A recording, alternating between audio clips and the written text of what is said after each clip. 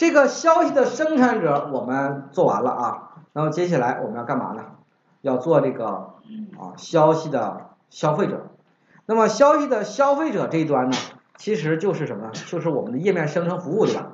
我们现在呢就来把这几个活儿干了啊。那么首先呢，我们要干嘛？首先这个活儿，第一个活儿要我要解除 doubles 依赖，为什么呢？因为我原来加入 doubles 这些依赖目的，呃，为了为了干嘛呀？是为了我们我们什么呀？我们的我们的运营商后台说要调它，是不是？所以它必须要走 double。现在呢，它就没必要走 double 了，它可以不和 double 进行交互了，对吧？也不和注册中心进行交互了。所以说它这个东西是没有必要的，对不对？当然你不解除的话，程序也不会报错，但是有什么必要啊？对吧？啊，没用的东西咱们就给它删掉了啊。所以说咱们第一步就是要打开我们的什么？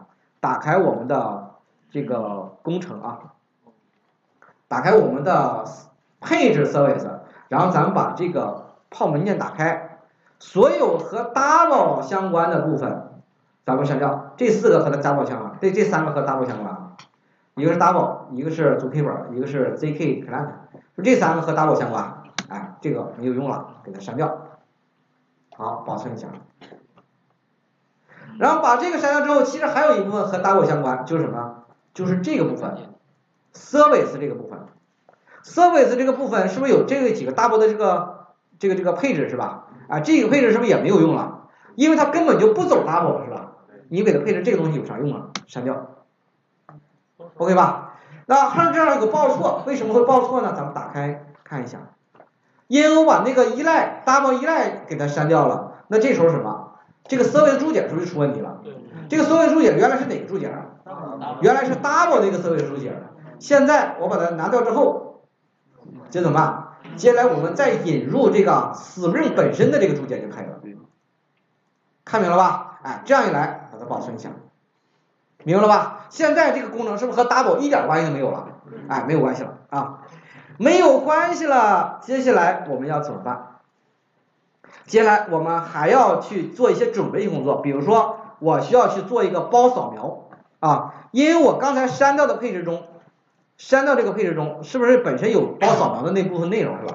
啊，所以说咱们现在呢来做一种用传统的方式来做这个包扫描啊，这个 context 的啊这个 span 这个是吧？啊 context span，然后呢这时候扫描哪个包啊，我们就扫描它这个包。对不对？这样那个 service 注解是不是才能才能找到啊？啊就行了。好了，这是第一步。完把这个做完之后，接下来我们说要使用 ActiveMQ 是吧？它得需要从 ActiveMQ 中去取消息，对不对？那这时候怎么办？必然会有这个 ActiveMQ 的一个依赖，对不对？这个依赖是必须要加进来的。咱们现在把它给它拿过来啊，放到这儿。ActiveMQ 依赖啊。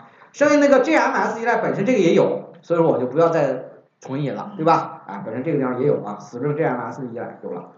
把这个加了之后，接下来我们再往下看就是写配置文件了，对不对？哎，写这个配置文件，咱们这里头呢仍然是需要把这个 consumer 这个配置文件给它拿过来啊，然后进行一些修改就行了，其实也比较简单。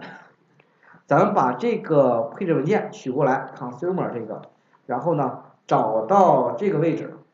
Spring 这个位置啊，给它拷过来，看到了吧？把这个拿过来之后，打开，这里有些东西是需要改一下的，比如说这个地址需要改一下，幺三五，对吧？这是我的地址。然后接着第二个不用改了，第三个这是什么东西？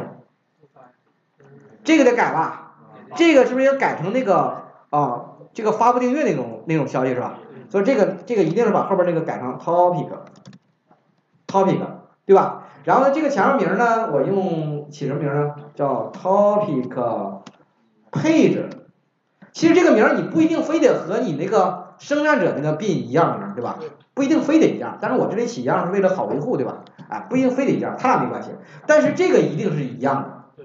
这个名儿队列名称一定是一样的。这是什么呢？就是品优购下划线 topic 下划线配置。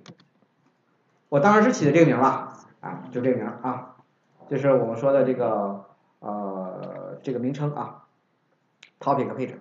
那么把这个拿过来之后，接下来怎么办？接下来我们再往下看，这个里头有一个监听类，这个监听类其实我们就可以不用再这么配了，因为啥呢？因为我已经配着包扫描了，是吧？我只要把监听类放在那个包里，是不是就自动扫描到了？所以说这个类我也不用配了。然后呢，把这个名儿给它注进来，topic 这个名儿注到这儿来，这个名儿我是不是改一下就行了？这个叫什么呢？叫我起名，比如说我先起个名叫配置 listener，行不行？那我的类名是不是必须叫配置配置 listener，对吧？哎，就是这个名类名啊，类名首字母小写就是它的 ID 啊，这是默认的啊。好了，这个我们把它配好了，配好这个之后，接下来怎么办？接下来我们是不是要写那个监听类了？哎，写那个监听类啊。那监听类怎么写啊？是不是在这个包上写啊？哎，这个包上写，然后呢，啊，类名必须叫配置了是吧？哎，配置 listener，listener，是一个名吧？哎，和那名一样。然后呢，紧接着啊，manager listener，然后 OK，OK 吧？没错吧？啊，然后呢，点击 finish，这时候呢，它让你干嘛？让你去实现这个方法，但是注意一定别忘了 comment 注解要给它加上，对吧？否则它就不是一个病了，对吧？啊，因为你用的是包扫描，所以这个必须要加上。紧接着这个有一个 message，message，对吧？哎，message，把这个 message 拿过来之后，接下来怎么办？接下来你就可以，它实际上就是你接收到的那个消息，是吧？那你现在接收到的是不是仍然是一个文本消息是吧？哎，接收到的一定是个文本消息。那么这时候就太 text 啊 message 把它强转一下就行了，text message 等于，然后括号，然后呢这是 message，OK 吧？哎，就是得到文本消息，得到文本消息之后呢，接下来怎么办呢？啊，我现在可以把它提出来吧？啊，点 get text 提出文本消息的内容。然后呢，这时候要让你干嘛？try catch。然后呢，你再接下来，我们再打一句话啊，为了测试方便，我打句话，接收接收到消息啊啊，这这是什么？加上一个 text。其实这个消息是什么东西啊？实际上就是那个商品的 ID，明白吧？就商品 ID，我以文本的方式传过来的啊，每一个 ID 我都传一个消息过来。拿过来之后，接下来怎么办呢？接下来我就可以怎么办？可以去去调用刚才调用我们前面写过的那个方法，写过那个类是吧？写过哪个？配置那个服务类。我现在可不可以注入进来？一样的是吧？item page service 一样的 item page service。好，图片是不是注进来就行了？哎，然后把它点儿，这个活儿原来是在那个。goods controller 里头就调的，是在运营商直接调的。现在我把它拿到监听类里调了，监听的消息去调，是不是它？然后紧接着它让你接收的是一个什么固载力，那这时候我们是不是得需要转换一下，是吧？哎，就是 long 点 pass long，然后把 text 转换一下，能理解吧？哎，这时候呢就就完成这个啊生成了啊。生成之后呢，这里有一个布尔，这个布尔当时咱们做的时候是为了得到结果，是吧？那这时候我们可以这样，叫 if 啊，就是直接写吧，直接写个把这个值打出来得了。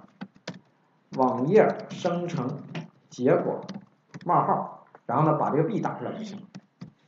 这时候 true 和 false 你不就能看懂了吗？对吧？就是为了测试一下啊。这个大家看懂了吧？哎，这就是我们的监听类啊，这是我们的监听类啊。写一下注释啊，就是监听类啊，用于生成什么？